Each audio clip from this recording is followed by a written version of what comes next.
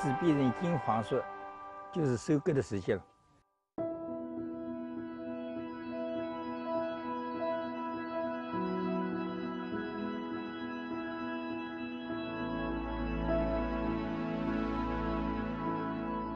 我们家在浙江良渚，这里非常漂亮。我家门口有很多的麦田。今年夏天，这边发生了一件大事。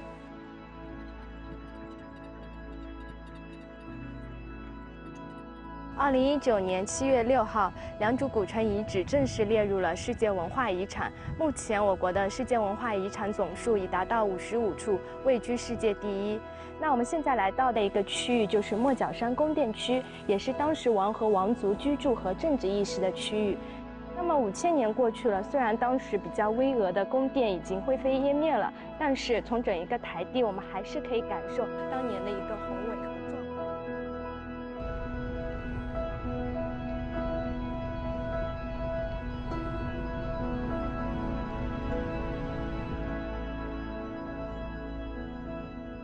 四点四点就起床了。四点就起，干嘛这么早起啊？嗯，天气热啊。早上早上赶到吃中饭嘛，就下午休息了，对不对？哦，这边。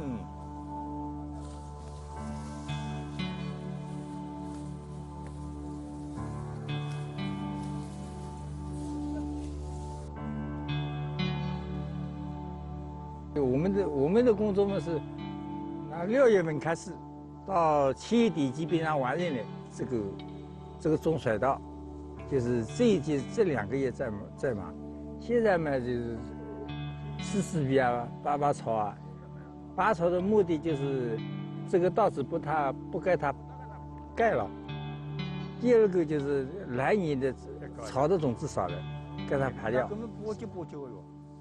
多长时间种一次，然后多长时间收一次？拿这个买稻一年功夫种一次，买稻。啊，如果种早稻的话，种两次。嘿，嘿嘿嘿，来，这个叫你们吃棒冰嘞，你们吃，你们吃，你们吃有的有的，你们待会儿，哎呦，还给我们买，不好意思哦。嗯，那个他现在你炒一人吧，拿来炒的。我去分呀。那分呀，不是这，你去带分呀。啊，就这样的，就把它泡香吧。好好好好，两两人两根，两根一个，那呃，你我吃一个就行。两根两根，买一人两根。那不要客气啊。一个一个一个一个够了，我俩一个汤吧。两个公的也还大的，多少要不能怕，你就认真呗，这再不能个，你就到来，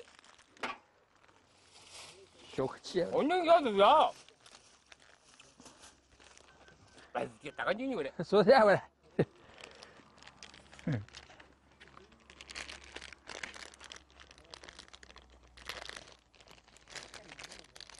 嘿，哪两个也泼一下呢？哪两个？二度上去。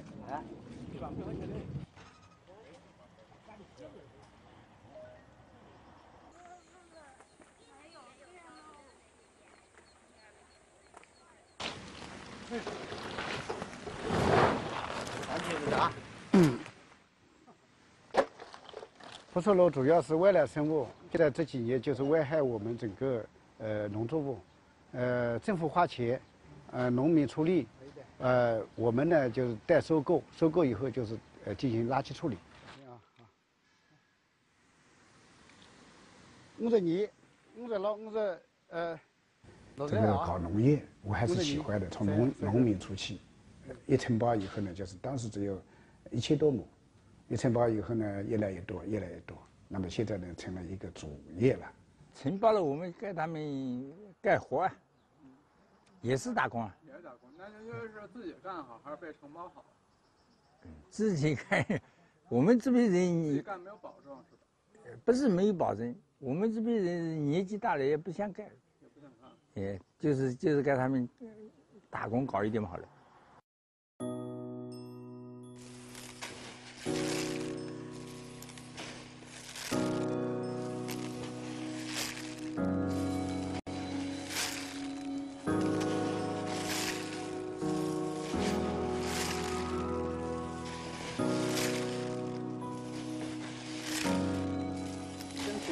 产什么事情，你知道吗？知道。到冬天空的时候嘛，叫老姚，等我们我们几个人十几个人叫我们去看一下。在这片巨大而广博的湿地上面呢，良渚他们就是以水稻发展起来的这样的稻作文明。那我们现在看到的是良渚的农业生产基地，那么它的这棵稻田呢有八十三亩左右，整个年产量呢达到一万六千斤。但是非常遗憾的就是，现在上面是覆盖了一个小区居住区，已经没有了。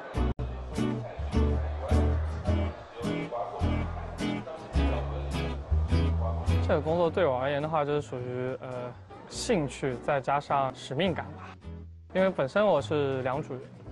在我看来的话，把现在的这个良渚去这个故事去说好，像去传播好，对我而言就是一个很很有意义的事情。用石镰刀收割下来的稻穗，一般放在我们的禾架上面去进行晾晒。在莫角山供电区的东坡。两处浅坑里头就发现了两到三万斤的碳化稻谷，这是五千多年前良渚时期的这些水稻过火之后碳化而形成的，那么就非常稳定的保存了四千多年。那么直到现在呢，我们就可以通过对于这些稻谷去确定，五千多年前它们的主食跟我们现在一样，都是由水稻构成的。啊，那么这是我们的这些碳化。在五千多年前，良渚他们早就已经建立起来这样一个区域性的古代文化，足以实证我们中华五千年的文明史。那么所谓的上下五千年，并不是空口白言，它是有证据的。那么它的证据就是我们现在所谓的良渚古城。在这个长期的接触和学习的过程中呢，就发现，越是深入了解研究它，对这个良渚呢，就产生了一种没有办法割舍的这样的情感。我们两组哪怎么有有有几千年的道理啊？我很好奇，这些是怎么保留下来的？在你以前的人，他们是不肯种地的，不像留在这里来。以后种地肯定用机械化生产的，不要这样，不要这样子搞了，对不对？以后这个房子全部要剥掉了，搬掉这个这个地要很大的，这个面积很大的。大型拖拉机，你这个用都用机械化生产的，你这个车子开过去，这里收到是后面都是米了，出来就是米了，不要的什么东西都不要了，以后要这样子的搞。两个结构嘛。呃，其他地方呢都是都是机械化的，人人工很少的，这打水的啊都是个都是放放的，到的，不要人工打水的呀。这西自从旁边都是无人无人机，有一大片一大片的人都是，呃，都是无人机啊可以打从旁边。我们这里呢还有个线都放放满了嘛，上面一个线，无人机到都要碰到的。不建议哎，老家在不摆煎油，哎呦，我煎我大概那么几个，因为两块金油嘛，一大袋嘛嘛。一块钱一有，一块钱到两块钱挑一半嘞，哎，哎。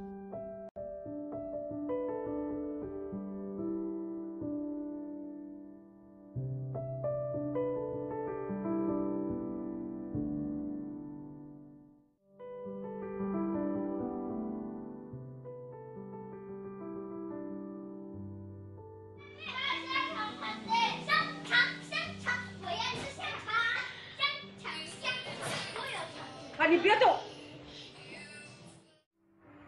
这小窝里还，拍拍不到哪里去。哎，他们承包到有这个老板承包过去了，给我一千二百块钱一亩啊，一亩我们先买买吃吃够了，给人们又不用累。现在好，现在好，国家政策真的很好了。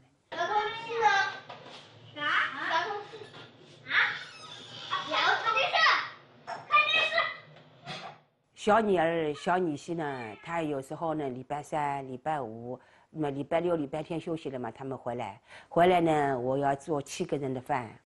我现在都是我女儿、女婿，他们有事情都是他们管得起来，我不管了。我在家里就是带孙子孙女儿，洗衣服、做饭，另外事情没有。要是我拿这个，他们肯定说。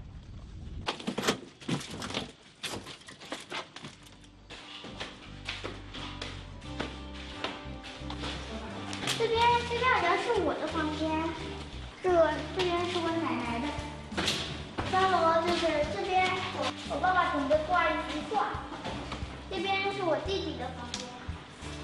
我爸爸妈妈房间最大，你看大天是绿的吧？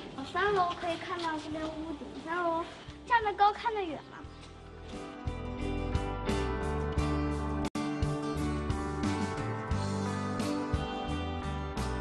年良渚古城内呢，大约有两万人，除了王族和贵族以外，大多数人就是从事着手工业制作。作为最古老的一个城市，良渚的房屋呢，大多都是临水而居的，所以也有学者称它为“东方的威尼斯”。我们可以想象秋收季节这里一片繁忙的景象。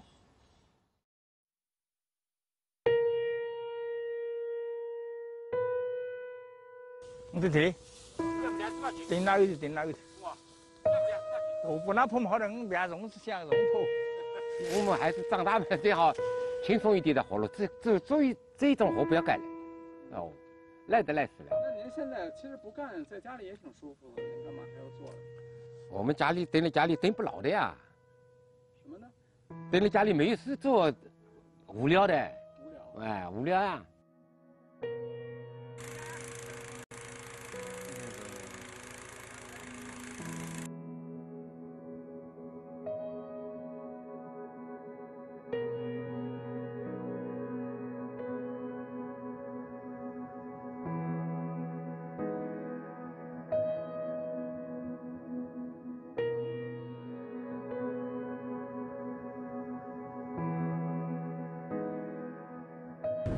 棚里都是什么东西？这个棚呢是，这个我们在整治，但是还没有整治掉。哦。因为我们这里不想看到这种白色污染。啊，这个现在都是这种美丽乡村一弄以后，呃，周边环境啊什么都搞好了。对。呃，一来是解决是温饱问题，那么接下来我们也是是在思考这个问题，温饱解决了，我们要种好米。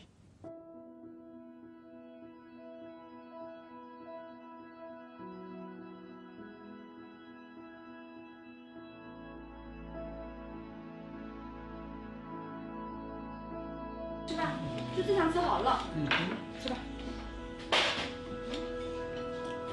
不用。哦。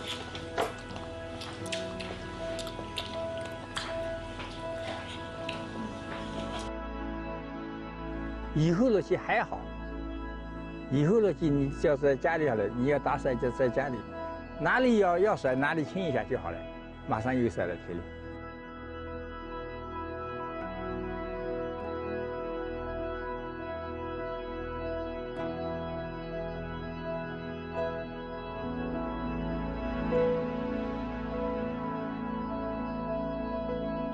再过两个月，麦子变成金黄色，就是收割的时间了。好了吗？好了就好了。